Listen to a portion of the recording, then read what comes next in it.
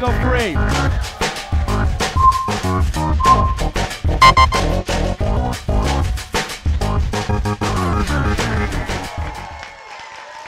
Whoa! Whoa, this is a good day at the Exploratorium, folks. How are you doing? All right, we're excited up in here because it's another episode of Iron Science Teacher. It's the last episode of 2019. I know, so let's enjoy this next hour as we have amazing teachers come out and give some amazing experiments. My name is obviously Jessica Sequins Parker, and I am the Director of Teaching and Learning here at the Exploratorium. I'm your host. We're broadcasting live, not only on Facebook. Do we love Facebook? But it's an awesome occurrence today because you know what? We are celebrating our 50th anniversary here at the Exploratorium. So that means it's our 50th birthday. Give it up! Woo! I am feeling old. Thank you so much for helping us celebrate. So, Iron Science Teacher, if you're not familiar, is based on the Japanese cooking show Iron Chef. How many of you remember that? Yes, yes, you in the front row, it's okay. It's, it's on YouTube. You can find it. We're putting an exploratorium spin on this idea and having science teachers, amazing science teachers, five of them, actually cook up an incredible science experiment based on a secret ingredient right behind me. Ooh, yes. So they're going to create an amazing classroom demo or a classroom experiment based on some ingredients behind here. Why do we do this? Because we love the science of everyday things and we love to applaud great teaching, don't we, audience?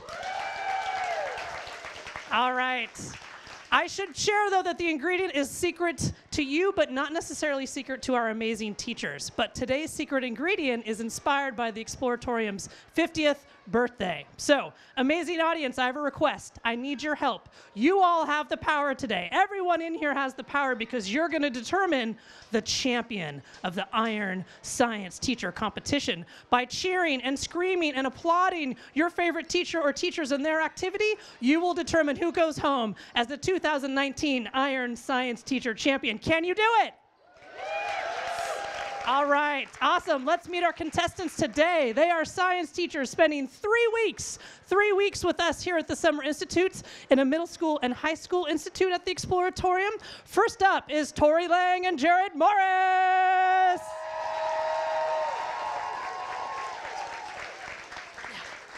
They, they're going to get close to me. Oh, yes. All right, tell us, where do you teach and what do you teach? I teach middle school science in Memphis, Tennessee. Woo, give it up for Memphis, Tennessee. Jared, how about you? Where do you teach and what do you teach? I teach in Sacramento and I teach middle school life science. Woo! Sacramento, awesome. All right, up next we have representing, here she comes, the Life Science Institute is Ajanta Day. All right, where do you teach and what do you teach? I teach at Oakland and I teach high school life sciences. Wonderful. Okay. Batting third in this amazing lineup is Megan Ziegler. All right, talk to us. Where are you from and where do you teach? I teach in San Diego and I teach biology. Oh, there's some bias here with the San Diego fan, I see. All right, batting cleanup. Here he comes, a native San Franciscan, Kendrick Chow. Kendrick, are you really from San Francisco? I am. One of the few. Where do you teach and what do you teach? I teach chemistry at School of the Arts in San Francisco. Awesome! Okay, contestants, are you ready to reveal this week's secret ingredient? Okay, go ahead. Let's go back around. And, audience, are you ready to reveal the secret ingredient? I don't, I don't know. It sounded like you were ready to leave. Are you ready for the secret ingredient? Here we go, folks. The secret ingredient today is birthday party supplies. We're having a birthday party here at the Exploratorium for our 50 years. And oh my God, the teachers are already grabbing their ingredients. They're ready to go. They're fighting. They were friends before this, but no longer. All right. Contestants, you are going to have five minutes to prep. Are you ready, contestants? On your mark, get ready, make some science, go for it. Audience, as they start to prep, I want to let you know that we have teachers from around the world participating in the Summer Institute where they commit for three weeks to amazing science learning and, of course, teaching as well. How are the Summer Institutes going for these teachers? All right. Uh, middle school teachers, how are you feeling about Tori and Jared? Life science teachers, how are you feeling about Megan and Ajanta? And physical science and chemistry teachers, how do you feel about Kendrick? Awesome. Okay, let's see what they're up to. Let's check in with Tori and Jared. Uh, Tori grew up in San Mateo, but now teaches in Tennessee, while Jared, of course, is from the Sacramento area. They seem to be filling beakers full of soda soda. I guess it, I'm not sure what's so interesting about the soda. We're going to find out, hopefully. They both love teaching middle school science because they love seeing students make sense of the world around them. Can they make sense of what's ha- can we make sense of what's happening right here? I'm not I am not totally sure. Some sort of soda setup, there's some water and a hot plate and it looks like they have something in beakers here as well. Thank you so much, middle school, middle school science teachers. We're going to check in with you in a second. Next up is Ajanta. Ajanta, of course, works in Oakland, but is originally from India. She seems to be doing something with a balloon. Hmm. She loves science because she says, quote, science gives us life. let's see what she's up to in terms of if she can take her knowledge of life science and actually try to compete for the title of Iron Science Teacher based on biology and also it looks like a party blower as well. Fascinating stuff there, Ajanta. Thank you so much. Let's move on over to Megan. Megan is from San Diego again, and she loves to teach high school biology because she loves that students can make sense of the world around them and where they are living based on biology. It looks like she's maybe taken that cupcake and put it into a Ziploc bag. I'm not sure why she's wasting the cupcake. It's a birthday party, and she's destroyed the cupcake. Um, yes. Okay, now she's putting what looks like water into the bag. Fascinating stuff here for a biology teacher. Thank you so much, Megan. Hopefully, leave us some of that cupcake to eat later on. Okay, good. Oh, and she said, Go Padres. Sorry, Giants fans in the room. Kendrick, let's go over to Kendrick and see what he is up to. A native San Franciscan teaching chemistry in San Francisco.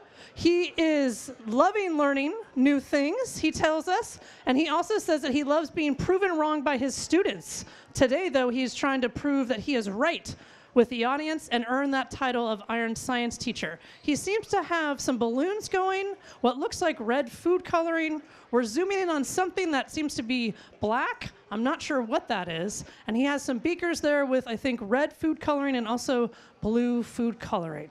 All right, and he's also wearing safety goggles. So, safety first, folks. Okay, contestants, let's give this folks some um, round of applause, please, here, audience. We're going to give them just a little bit more time to prep and get things situated um, as we are celebrating the happiest of birthdays here at the Exploratorium as we turn 50. So go ahead and teachers and start to wind down if you can. Audience, are you having fun here with the happy, happy birthday party in San Francisco? Okay. We're also celebrating rainbows, as you can see. Those are very important. Do you love rainbows? Uh, yeah. What's your name? John. It's not Rainbow John? No. No. But how much do you love rainbows? A lot. Do you love rainbows or science more? Which one do you like best? Science. Oh my gosh! That was totally a plant in the front row. That's amazing. Free membership for that family. Thank you so much. Okay, here we go, folks. Audience, are you ready to crown our last champion of 2019 for Iron Science Teachers? Awesome. John's up in front. He's ready. So let's go ahead and bring up our contestants, Tori Lang and Jared Morris. All right, we gotta transfer this. Over here. They are going to move to the middle here, and so we're just going to do a little bit. As you can see, we have a hot plate going on. Because that hot is hot, folks, we want to make sure we keep that there and safe. And so we're going to move a little bit to the middle and allow them some time because safety is always our first concern with science. And you can see Lori Lambertson is coming up and giving us some goggles as well. We always want to be safe here when doing science activities and experiments, and we want to make sure folks have the necessary ingredients to make that happen and procedures. We, I also want to say that we are not trying to promote soda, and this is not, um, uh, yes, not a sponsorship. I mean, if, if these soda providers would like to support the Exploratorium, please feel free to reach out to me, but we're not, in fact, trying to promote them. Maybe. Okay, let's give it up again for Tori and Jared as they take it away for us.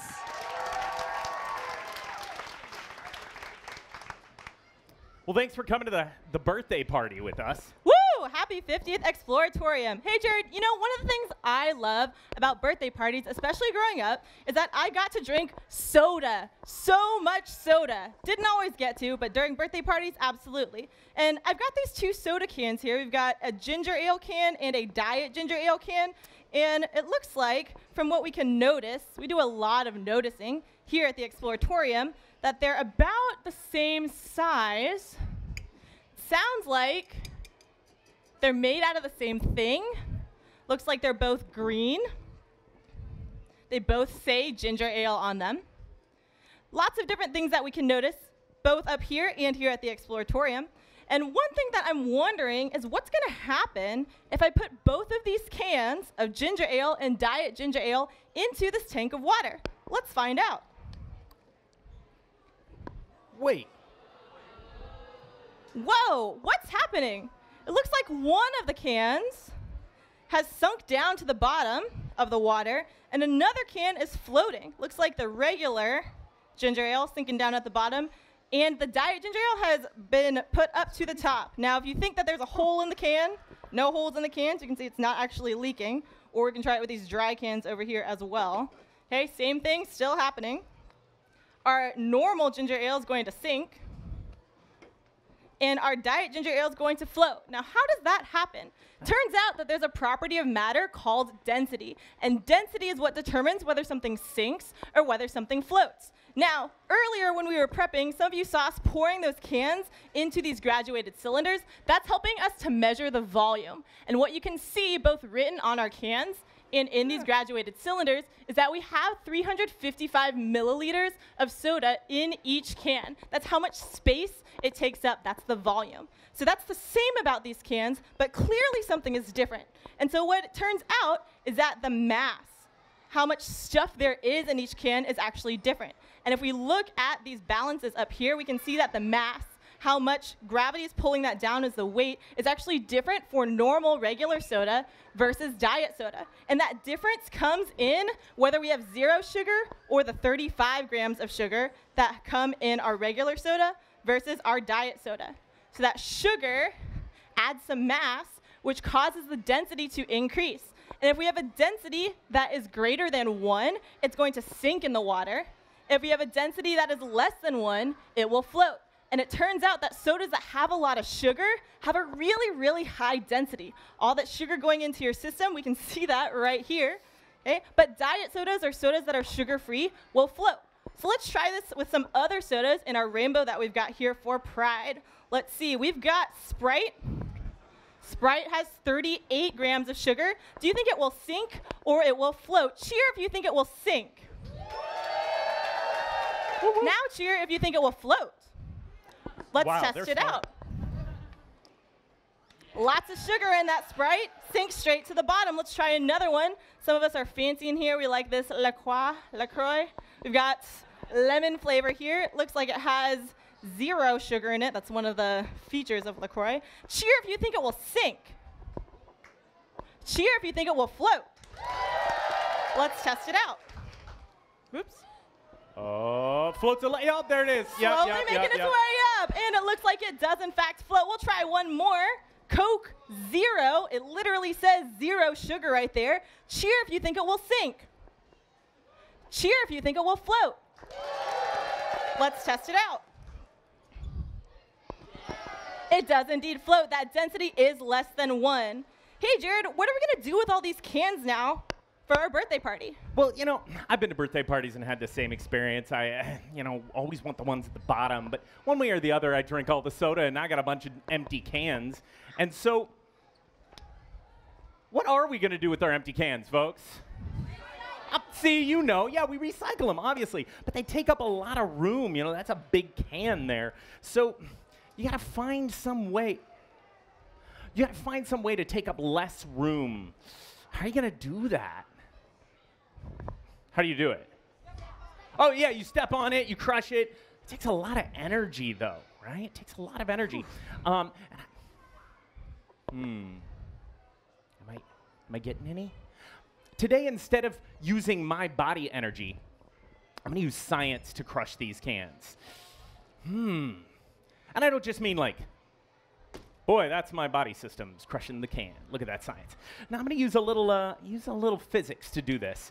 Now I'm a little worried because I'm not seeing what I need to yet. Um, hmm. what are we supposed to see so far? I don't know. I, I thought there was supposed to be some uh, some steam, maybe. Hmm. Maybe a little less water. There we go. Oh, you know, uh, my, my teacher here, Lori, would be really upset if I wasn't uh, donning my protective gear here. Uh, not that dangerous, but. Give it up for safety protection!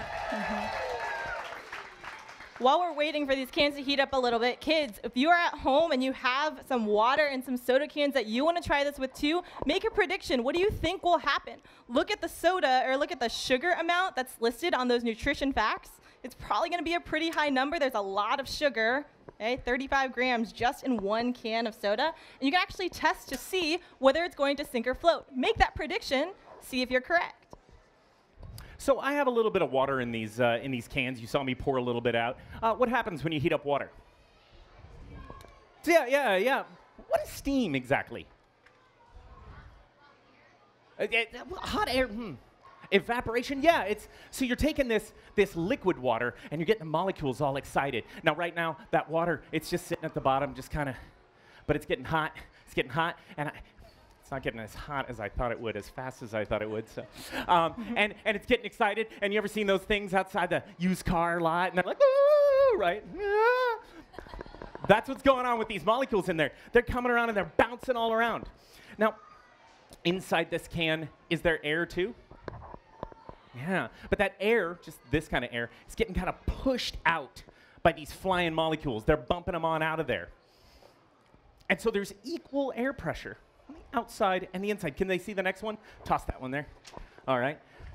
There we go. There we go. So we're adding heat. You can see our little blue molecules bouncing around and hopping up and down, and uh, they're pushing out most of the air. But again, it's open. So if it's closed, we'd have a pressurized system like this. They can't can't crush it. But it's open, so there's not any pressure building up. Now let's not show them that last one. Let's see. Are we getting any steam here? Okay. Okay. Can we get a, oh yeah, can we get a, a zoom in right over here? Mm-hmm. Let's see if we can see that steam coming out of out of this one right here or this one. Can you see any steam coming out up there? See those air molecules or those water molecules jetting out of there? It's hard to see, but I guarantee you it's happening. So, here's the moment. Here's the moment I've been waiting for, and I hope you have been too. So, I'm gonna use some science to crush this can. Oh, oh, you're right, absolutely. See, they are the experts. I'm gonna switch glasses just because they're cooler. Stay safe, right. kids. Stay safe. Safety first. All right. Ready? Good thing I have a spare. Good thing I have a spare. Oh, what do we think about another experiment, folks? Yes, we can try it again, Jared. When in doubt, always prep twice. All right, come on, audience. What do you think? Give him some love. Oh. So close. There goes our win. What did we expect to happen? What do you think you expected to happen? It, so why would it have crushed had it worked perfectly? Well, why don't you tell us, Jared? Well, let's take a look. Oh. So when I flip it back over, you guys ever seen dew in the morning, rainfall from the sky? Water cycle, right? So those excited molecules, they get chilled back out by that chilled water. You'll notice there's some ice in here. And the amazing thing is then, is there any other molecules hanging around up in here? Not really. I've emptied the can. Now there's a ton of pressure from the outside and not much from the inside. And that's what should have crushed the can. All right, give him some love, folks. Yay! I love birthday parties, and so whatever it is that you're drinking, whether it sinks or whether it floats, and You- however you however decide you to crush crush it. your can, you can And recycle. Thank All you. Thank you. Thank you so much, Tori and Jared. Give it up for experiment that didn't go quite right, but they're going to continue to do it again, aren't we, folks? Yes. Don't maybe do this at home. Probably don't do this at home. Ask your science teacher. Maybe he'll get it right. He or she will totally get it right. Yes. One more round of applause, please, for Jared and Tori.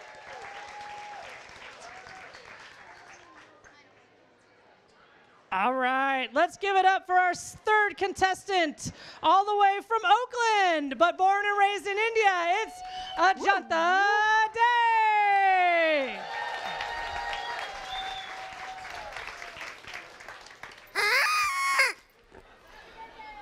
Happy birthday, Exploratorium. Everyone sugar high now? Yeah, yeah. okay. It's time to relax. It's Friday. You are in an awesome place, Exploratorium by the bay. So, what I want you to do is deep breath with me a couple times, okay? Let's do that. Count of three.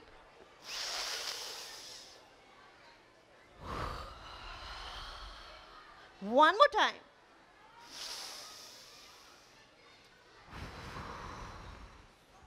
Good job, good job.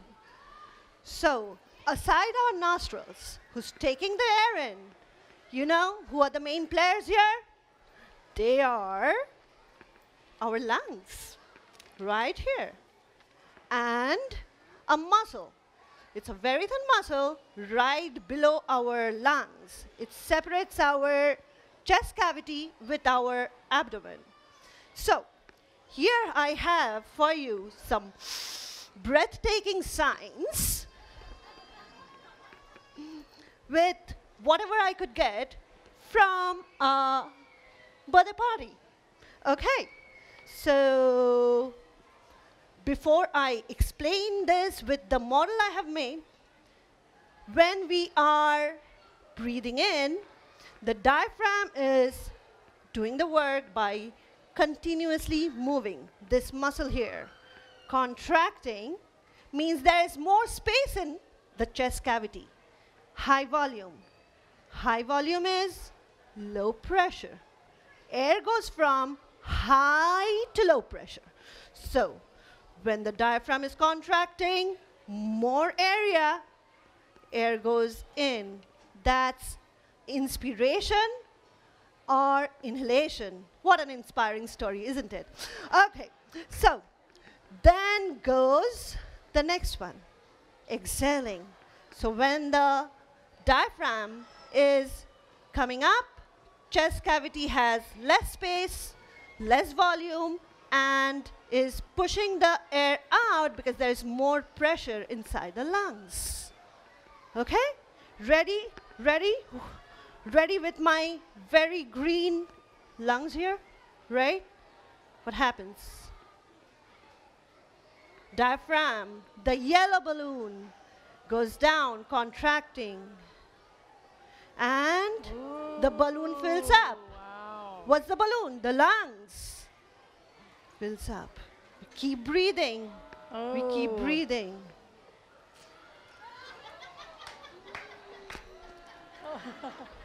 So, let our lungs be the center of our birthday party today. All right. Thank you, thank you, everyone. Appreciate Thank you, it. Ajanta, for letting us know how to use our birthday party supplies to show us how to inhale with our lungs. Th- one more round, please, for Ajanta. Great. All right, next up we have San Diego, a Padre fan, but she still loves San Francisco. It's Megan Zeeler. Hello Well, hi, folks. Thanks for joining us today to celebrate the Exploratorium's 50th birthday. I was noticing in that pile of goodness, party goodness, that there was a cupcake, and I thought to myself, as a biologist, I love the human body. What does our body do with a cupcake? And I thought we should do a model of digestion. So here's my cupcake. Here's what we're gonna start with.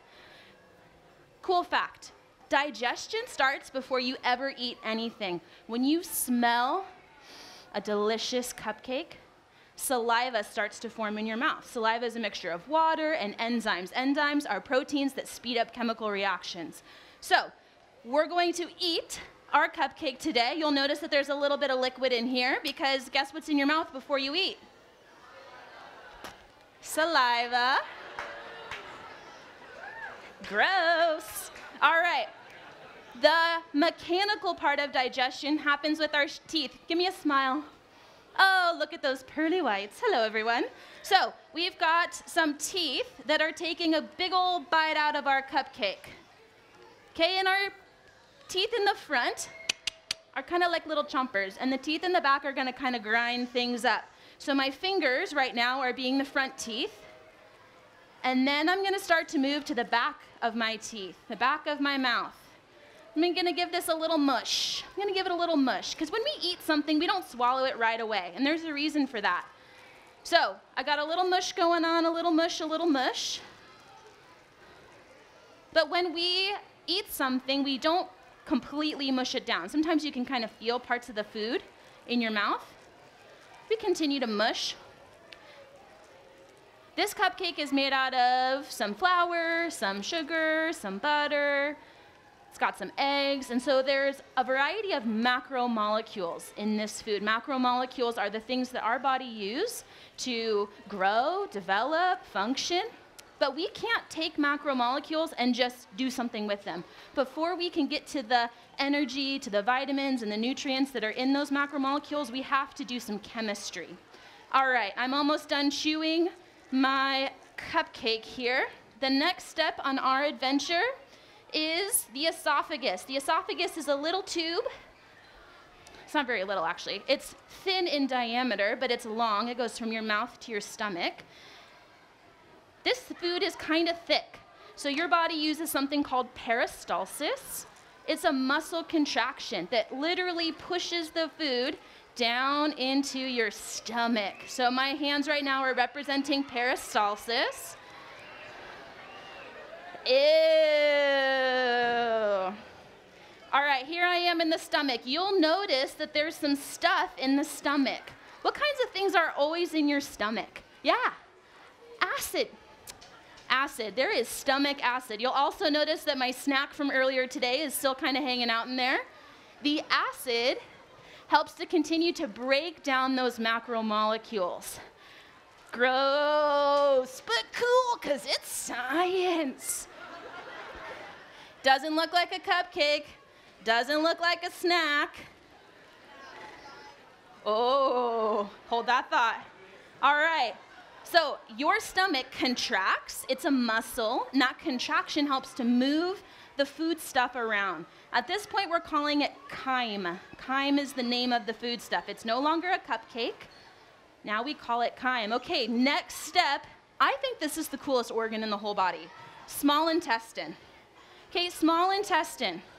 Super rad. Small intestine is in charge of absorption.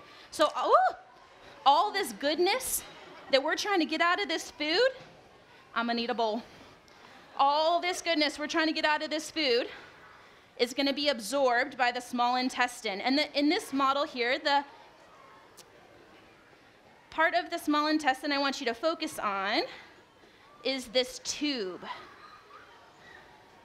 All right, one of the things we need to add to the small intestine is some bile. Bile helps to emulsify lipids, break down fatty particles. So we're gonna add a little bit of bile. We know that soap breaks down fat molecules. That's why we use soap when we do dishes. We're gonna close off the top of this. Ooh, got a little backlog there. We're gonna close off the top of the small intestine. We're gonna let it kind of hang out here because absorption takes a while. It's not an immediate process. And as we move the food through peristalsis down the small intestine, eventually we're going to get to the large intestine. Uh oh. All right, large intestine, last step. Now you've absorbed the carbohydrates, the minerals, the lipids, the proteins from the small intestine in the small intestine. Those are going to go into your bloodstream and they'll be sent to cells and they're going to just help your body to grow and function. Here's what's left. So, the large intestine is responsible for getting the water out of the leftovers. Your body has to do something with the leftovers, right? There's leftover stuff that your body didn't use. And so, as it moves down the large intestine, water is being absorbed by your body. If I haven't lost you now, just wait.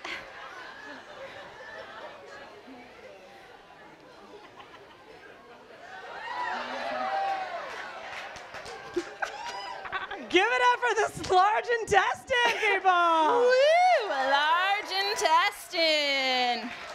All right, we're almost to the end of the large intestine. And if you've ever lived for more than one day, you know what happens.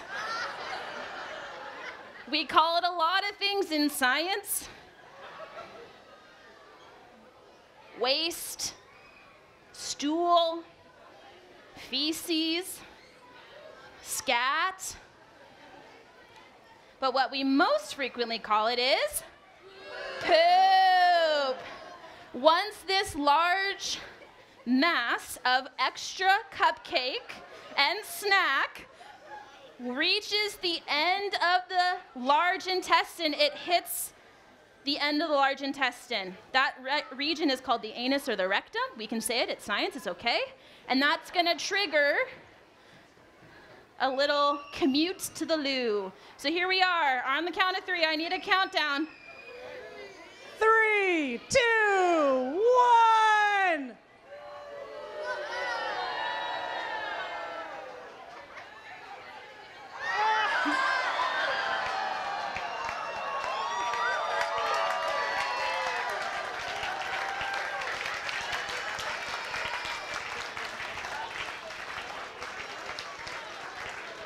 So, what does your body do with a cupcake?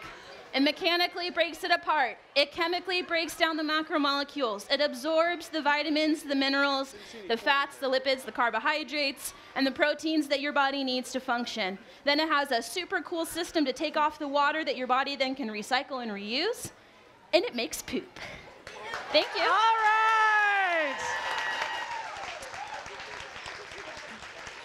This is the first time in the webcast studio that we've had someone poop. Thank you, Megan. Round of applause, please, for Megan. Um, just to let you know, we're having a sale on coffee.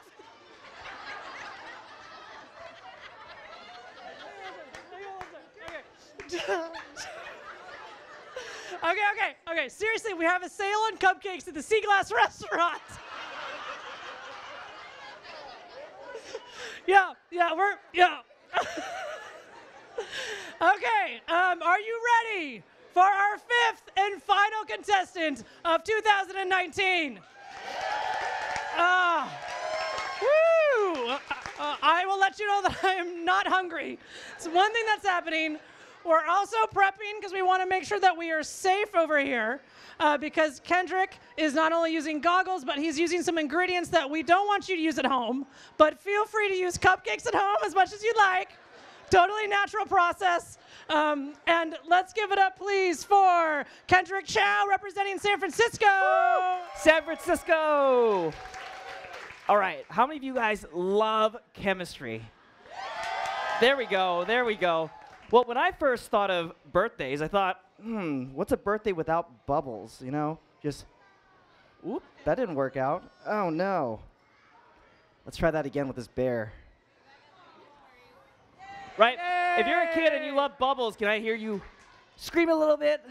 If you're if you're an adult who loves bubbles at birthday parties, can I hear you scream a little bit? All right, so today, when I was thinking about bubbles, I thought, hmm, where do bubbles come from? And I thought about when I was a kid and I got a cut on my hand, I know my mom would pour a little bit of hydrogen peroxide that you can get from the pharmacy, and that would disinfect my cut, and a couple bubbles would come out, right? And what hydrogen peroxide is, it really, really, really, really wants to become water and oxygen. So those bubbles that were coming out of my hand was actually just oxygen. And I poured a little bit in here with a little bit of red in there. And I'm going to mix it with something called a catalyst, this fine black powder right here. And what a catalyst does is it helps speed up the reaction. It makes things happen a lot faster. Oh, that's right. That's right, safety. Safety. And I even have a pair for Ron, our cameraman. I just totally forgot about Give it up for. Ron, our cameraman. Right, I'm gonna add a little bit more. And tell me if you can see the bubbles that are happening when I pour this in. And tell me what else you notice as I pour this powder in. What happened? Steam, right? Steaming just like the cans at first. There was some steam. What else? Bubbles, right? That tells us that there is a chemical reaction happening. And actually, if I touch this, it's a little bit, just a tiny bit warmer. Turn black. That's the powder right here, the catalyst, right? But to better see this reaction happening, we went to a science supply store, very scientist, a scientist quality hydrogen peroxide. This is 10 times stronger. What do you think will happen if it's 10 times stronger? Bigger. We're also going to use a little bit of soap, just like the soap, the bile. It helps make a surface and clean up the fat a little bit. We're going to add this to the, or actually, I added some already. We're going to add some of this hydrogen peroxide. Now, reminder don't do this at home. And always have your goggles on. But I'm going to add some of this peroxide in to start just a tiny bit. But remember the catalyst I said? The catalyst actually helps with the reaction, but it doesn't get used up. So we're going to prove that it doesn't get used up by actually adding it back into this one. And we'll see what happens when this gets added back into there. Let's see. What's going on?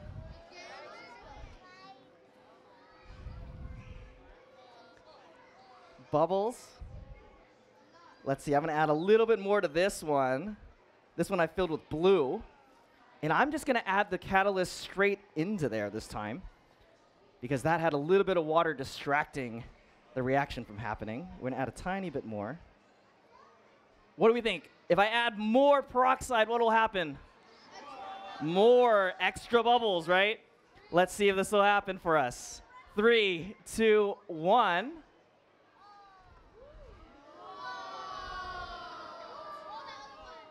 Oh, look at the other one. Let's see what happens as it builds up and reacts for us.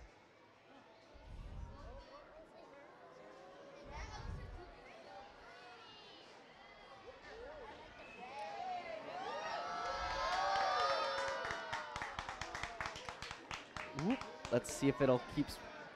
I think it'll keep going, but we'll watch it as it happens. But that'll be my demo for today. Reminder: don't do this at home. And a catalyst always speeds up your reaction, so please be careful. All right, give it up for Kendrick. Can we also give it up, please, for the hydrogen peroxide and the catalyst? Fabulous. Folks, did you have fun so far? Okay, are you going to be able to help me vote? This was a tough competition.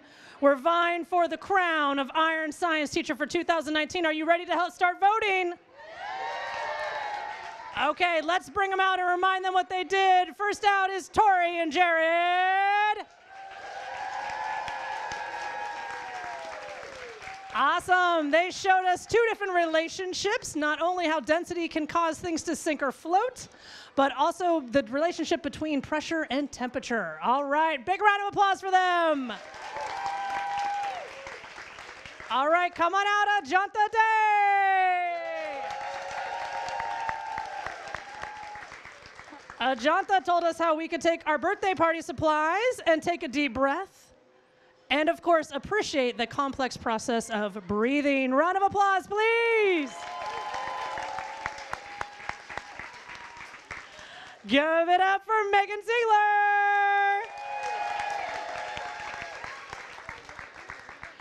Megan scared the you know what out of us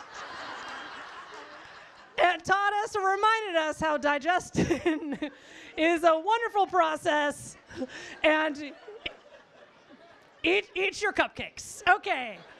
Last but not least is Kendrick Cho. Kendrick showed us how he can, we can use bubbles and hydrogen peroxide and a catalyst to speed up um, its creation into hydrogen and oxygen. Okay, round of applause for all five, please. All right, to be scientific, I have a sound level meter here. Wha- yeah, tell me more. Um, Do you want to hold it? Do you want to hold it? no, I'm good. Oh, okay. Um, does anyone else want to hold it? Okay, here we go. Okay, okay, here we go. All right, right there. Now point this this way. Okay, so what's your name? Diana. Diana has the sound level meter in decibels. She is going to help us determine scientifically who is the loudest or who receives the loudest cheers based on your applause, stomping, cheering, and yelling. All right, audience, are you ready? Oh, you just hold. Yeah, you just hold on to it just like that, and you tell me where the red where the red thing goes to, the number. Okay? Can you do that? I believe in you. Okay. All right. Round of applause if you think that Tori and Jared should be the winners.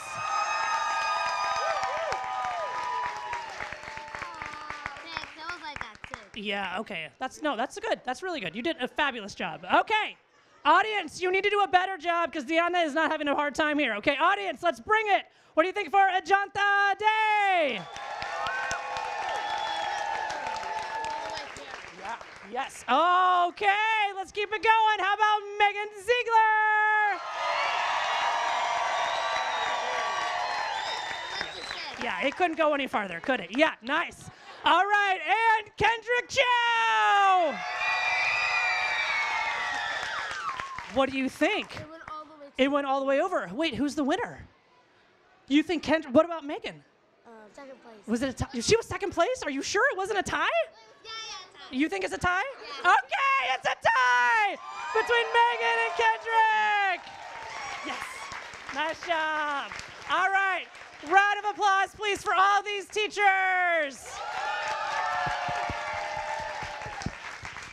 Thanks for joining us here in San Francisco and for the Iron Science Teacher 2019 competition. This is our last competition of 2019. Oh, but feel free to watch this online because this is now forever online and on Facebook, which is fabulous. Um, have a wonderful Friday and happy Pride, everyone. Take care.